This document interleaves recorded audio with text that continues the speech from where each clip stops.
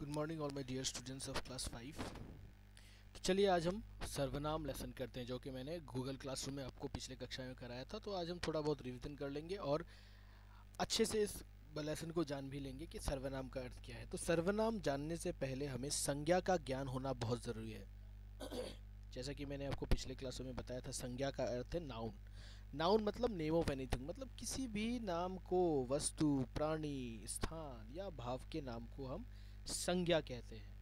तब सर्वनाम किसे कहते हैं? सर्वनाम वे शब्द हैं जो हम संज्ञा के इस्तेमाल, संज्ञा के जगह पर इस्तेमाल करते हैं। उन शब्दों को सर्वनाम कहते हैं। जैसे, राम कक्षा पाँच में पढ़ता है, वह बहुत अच्छा नाचता है। तो हमने राम के जगह पर क्या इस्तेमाल किया? वह। तो वह जो शब्द है, वो हमने राम, यानी कि संज्ञा के जगह पर इस्तेमाल किया।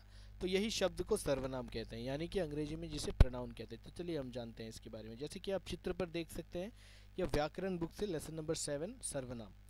मेरा, मुझमें कुछ नहीं, जो कुछ है सो तेरा तेरा तुझको सौंप दे, क्या लागे है मेरा?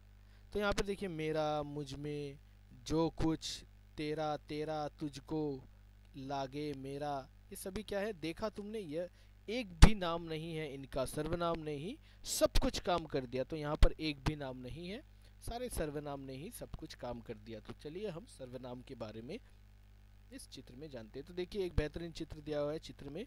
कुछ बच्चे और कुछ पेरेंट्स हैं मतलब एक फैमिली जो जंगल में पिकनिक मना रहे हैं या फिर घूमने के लिए गए हैं। तो चलिए देखते हैं क्या लिखा है।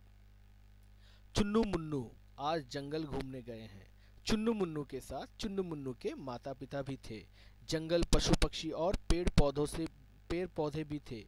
जंगल में ये सब देखकर चुन्नू मुन्नू का मन प्रसन्न हो गया। अब इसी गद्यांश को दोबारा पढ़िए। तो इस गद्यांश को दोबारा पढ़ने को कहा गया है।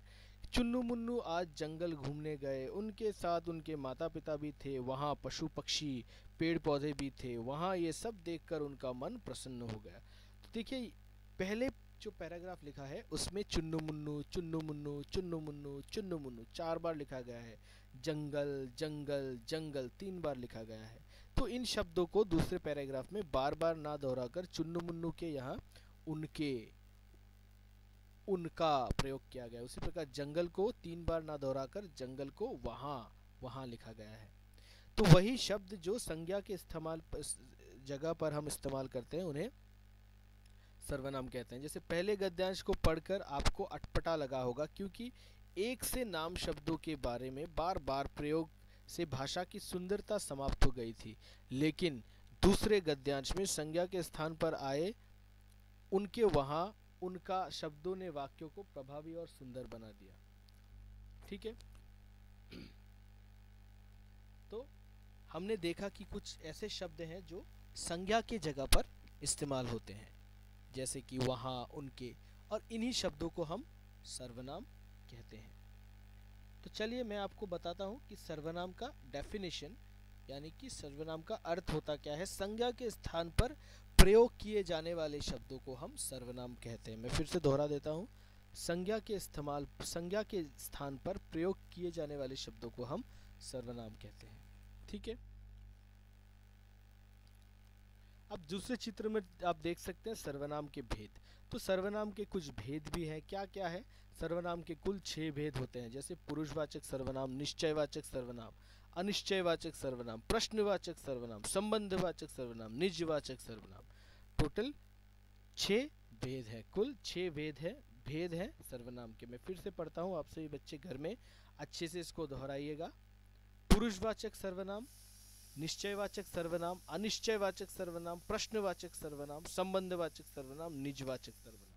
तो आज हम पुरुषवाचक सर्वनाम के बारे में जानते हैं, चलिए।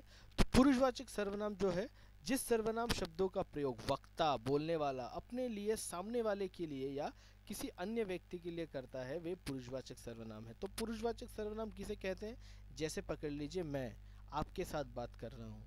तो मैं अपने लिए जो सर्वनाम इस्तेमाल करूँगा, जैसे मैं, हम। साथ ही साथ मैं जो तुम्हारे लिए या फिर आपके लिए जो सर्वनाम यूज़ करता हूँ, इस्तेमाल करता हूँ, जैसे आप, तुम या फिर तू। और साथ ही साथ हम दोनों मिलकर जिसके बारे में बात कर रहे हैं, उसके लिए जो सर्वनाम हम यूज़ करता है, करते हैं, जैसे कि वह, उसने, उसका तो ये सभी सर्वनाम पुरुषवाचक सर्वनाम कहलाता है। तो यहाँ पर और एक शब्द दिया गया है कि वक्ता। वक्ता का अर्थ है जो बोलता है, बोलने वाले को वक्ता कहते हैं। जैसे देखिए यहाँ पर चित्र के साथ साथ उदाहरण भी कहीं दिए हुए हैं, जैसे मैं राहुल हूँ, तुम क्या खा रहे हो? वह हंस रहा है। तो यहाँ पर मैं, तुम, वह, ये सभी क्या है? ये सभी पुरुषवाचक सर्वनाम है। अब पुरुषवाचक सर्वनाम के भी तीन भेद होते हैं। उत्तम पुरुषवाचक सर्वनाम, मध्य पुरुषवाचक सर्वनाम, अन्य पुरुषवाचक सर्वनाम। उत्तम पुरुषवाचक को फ़र्स्ट पर्सन कहा जाता है अंग्रेज़ी में, मध्य पुरुषवाचक को सेकेंड पर्सन कहा जाता है और अन्य पुरुषवाचक को थर्ड पर्सन कहा गया कहा जाता है। मैं इसके बारे में आपको दूसरी कक्षा में समझाऊँगा। आज की कक्षा में मैं यही समाप्त करता हूँ। मैं चाहूँगा कि आप सभी बच्चे इस पाठ को अच्छे से पढ़ें। तब तक के लिए धन्यवाद।